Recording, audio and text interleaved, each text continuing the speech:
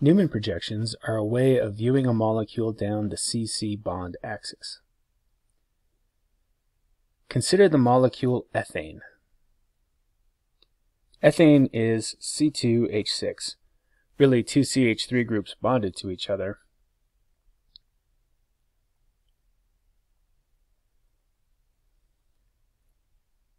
And each of the carbons is sp3 hybridized and hence tetrahedral. So here is a three-dimensional bond line structure using wedges and dashes.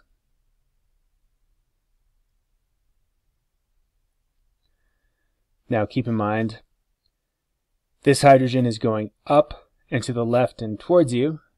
This hydrogen is going up and to the left and away from you. This hydrogen is going down and to the left and it's in the plane. The CC bond is in the plane. This hydrogen is going up and to the right and is in the plane. This one is down and to the right and away from you.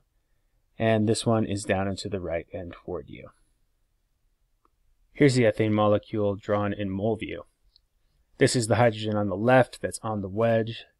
Here's the one that's on the dash. Here's the one that's in the plane. Wedge. This one behind is on the dash. This is the one in the plane. Now to draw our Newman projection, we're going to take our eye and look straight down the carbon-carbon bond axis. Here we're looking from the left-hand side of the molecule. So doing that is really equivalent to changing the angle at which we view the molecule.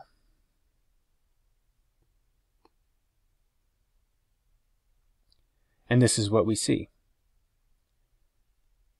This is the hydrogen on the left-hand side of our bond line structure that's on the wedge. This is the one on the dash. This is the one going straight down into the left. This is the one that was on the wedge on the right-hand structure. This is the one on the dash on the right-hand side. And this is the one going straight up. So this is what we see in MolView. And the Newman projection is just going to be recreating that with a drawing. Okay, so let's label some things. The carbon that's closer to our eye is the front. The carbon that's further away from our eye is the back. Right, F and B in our original drawing. And now with my color coding, the ones on the wedges are the green ones, and the ones on the dashes I color coded in blue. Okay, so as far as the Newman projection, the front carbon has one hydrogen going straight down. That's this one. And then the hydrogen going up and to the right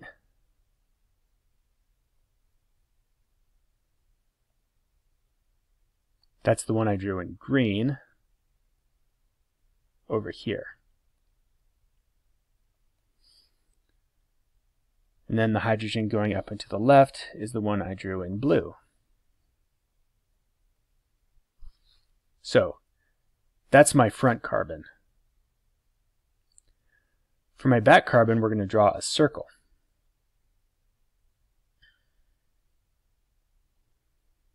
Right, so that's my front. And then the circle is the back carbon. So the hydrogen going straight up and back is here. The hydrogen going down and to the right is in green. That's this one.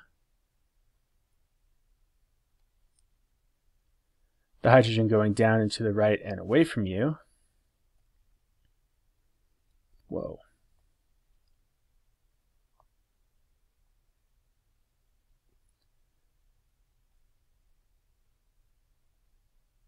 That's this one. Oops, draw that in blue. This hydrogen here. Now in MolView, if I took this and I spun it around, so that now the right-hand carbon is the front. This is what we see. So now just to draw this as a Newman projection, now our right-hand carbon is the front and our left-hand carbon is the back. So as we draw the front, the triangle is inverted.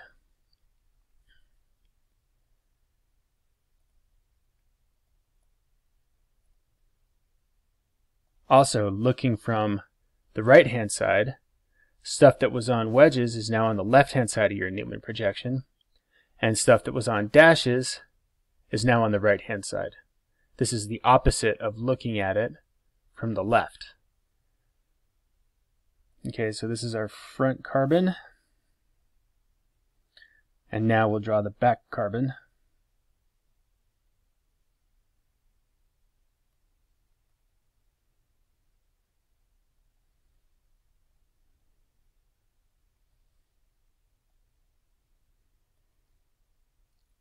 Here's the one that I've just drawn going straight down is this.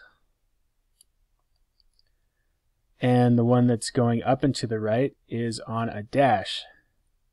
It's this one. The one going up and to the left is on a wedge.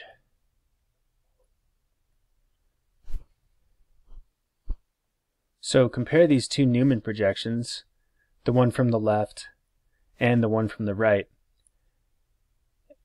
And what do you notice? Maybe what we should do is just number these instead, 1 and 2, instead of front and back, because front and back changes.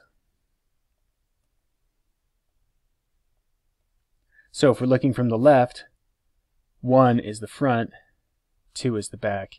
If we're looking from the right, 2 is the front, and 1 is the back.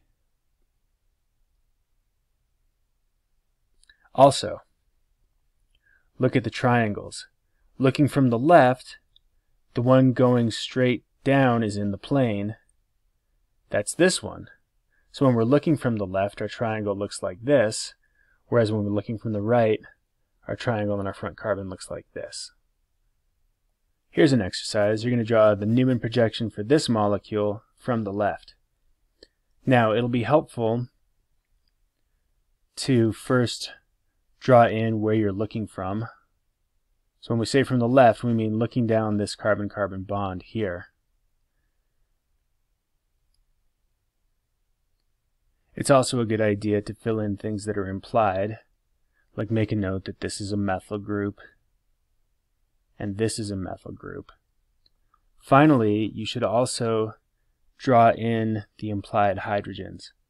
So, for instance, this carbon's only showing three bonds. It should have four, and the fourth one that um, we don't show in bond line structures is a hydrogen.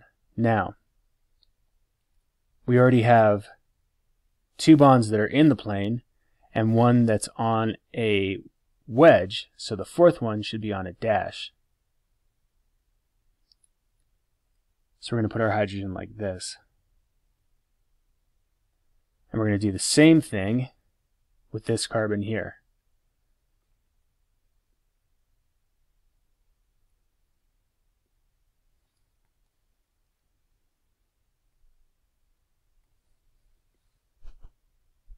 Okay.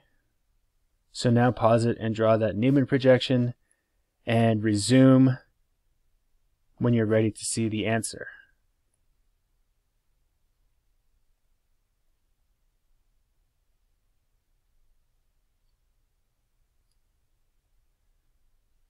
So here is the answer. And we're looking at it from the left, which means the left-hand carbon is the front carbon. So our front triangle is going to look like that. With a methyl group at the top, a hydroxyl, and a hydrogen.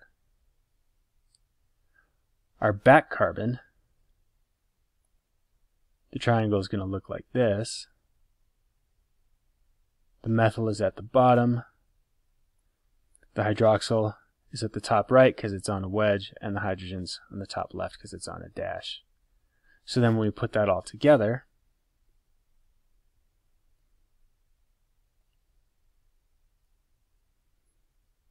methyl, hydroxyl, hydrogen, there's our front carbon,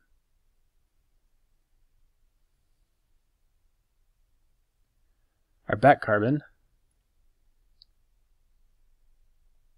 methyl, hydroxyl, hydrogen.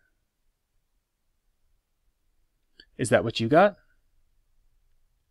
Nice job.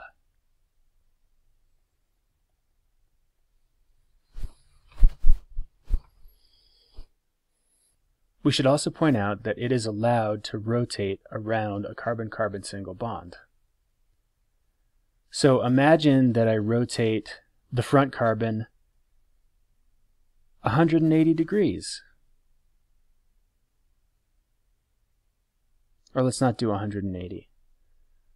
Let's rotate it 120 degrees. Okay, so that means the hydroxyl is going to end up where the methyl was, the methyl ends up where the hydrogen was, and the hydrogen ends up where the hydroxyl was. That's a 120 degree rotation.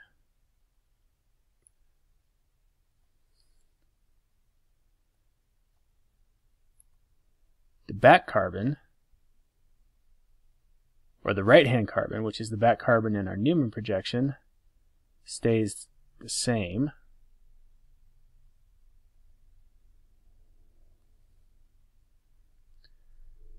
But now,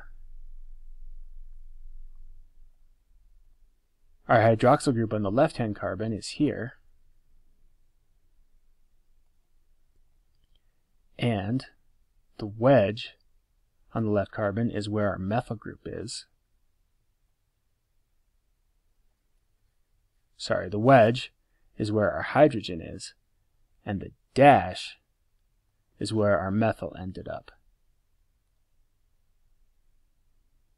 Right, so our original structure, looking from the left, gave us this Newman projection.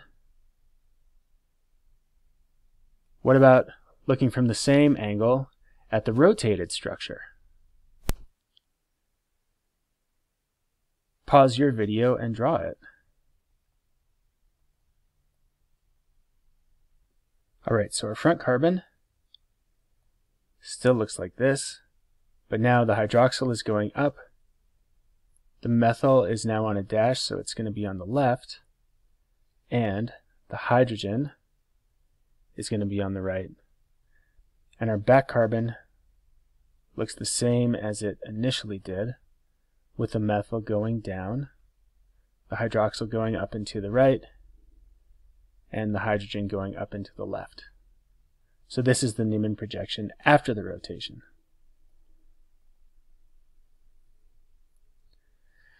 I should stress dihedral angles.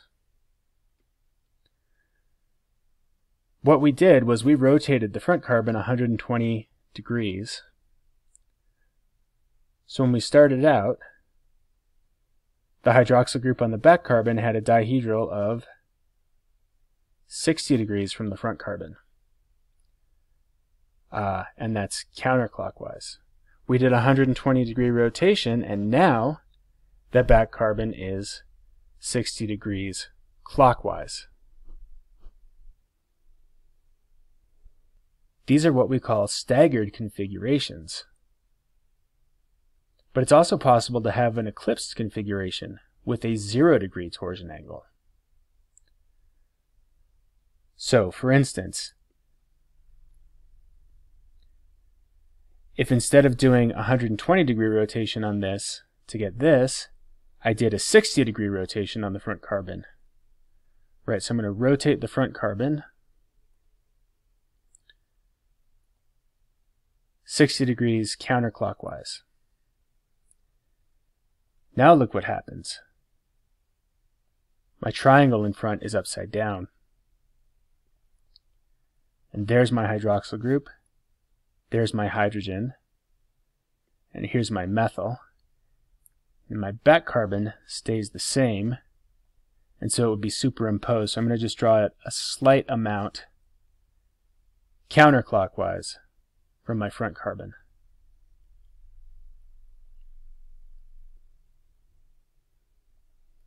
This is what we call an eclipsed configuration.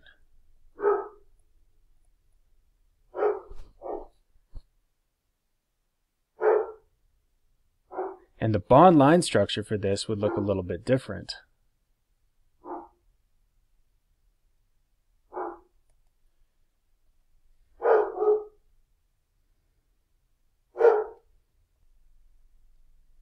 In fact, it looks like this. The hydrogen on the left-hand carbon is going straight down on a flat bond. It is eclipsed with the methyl group.